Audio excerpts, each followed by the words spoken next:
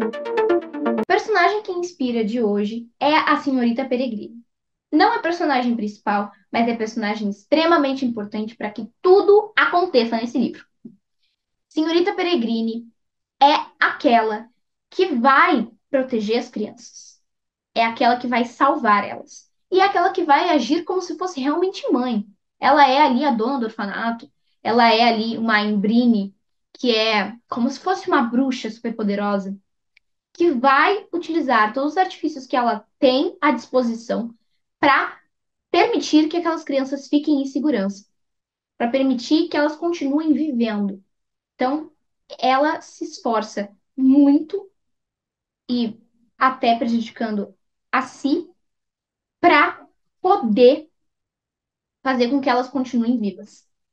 Então, é extremamente legal de enfatizar ela, porque ela é, assim, ó, ponto essencial desse livro. Sem ela, não teria livro. E ela é uma personagem muito incrível, muito cativadora. Uh, cativadora não, muito cativante.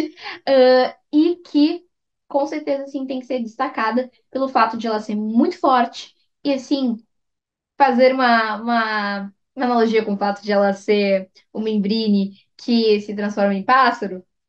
Uh, e por isso ser Embrine, no caso, né? Mas ela, ela protege as crianças e coloca ela debaixo de suas asas, né? De uma forma muito interessante, muito bonita de se ver.